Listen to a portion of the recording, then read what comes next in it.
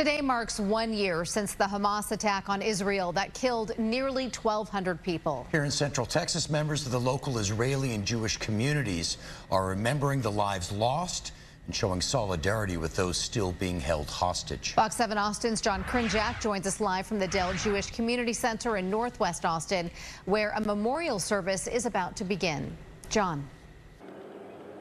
Yeah, Rebecca, Mike, that community gathering really wrapping up a day full of remembrances here. Behind me, you see these flags, a memorial to those who were killed as well as those who were captured on October 7th. And there really was a renewed call today for the return of those hostages.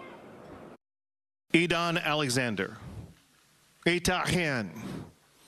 Itay Chen, Governor Abbott reading the names of the seven Americans still being held by Hamas exactly one year after the October 7th attack on Israel. All hostages must be returned. Leave no one behind. Members of Austin's Israeli and Jewish communities gathering inside the Dell Jewish Community Center Monday, many with T-shirts reading Forever in Our Hearts, October 7th. 1,180 people were killed on that day by Hamas terrorists. In the deadliest attack against the Jewish people since the Holocaust. It affects the entire Jewish community, not just the people in Israel. Outside the Dell Center, a moving memorial displaying the faces of some of the victims, specifically the 364 people killed at the Nova Music Festival, many of them young people.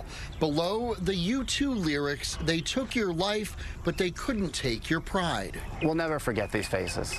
We never will. Another memorial showing the 97 hostages still being held in Gaza, yellow ribbons tied in solidarity as the fighting continues overseas. I hope that they take away that our community is resilient, that we are bound together in this fight against you know, what was this horrific, horrific day, that we want to move toward peace, but a lot of efforts have to take place before we get there. Today's commemorations also acknowledging the rise in anti-Semitism that's been seen over the past year, not only here in the Austin area, but around the country. October 7th, of course, was a nightmare for all of us, but October 8th extended that nightmare to a level we did not expect. The Anti-Defamation League reporting a 200% increase in anti-Semitic incidents since last October and a 400% increase on college campuses. It has been a very rough year for all of us. It's going to be a rough year ahead, too.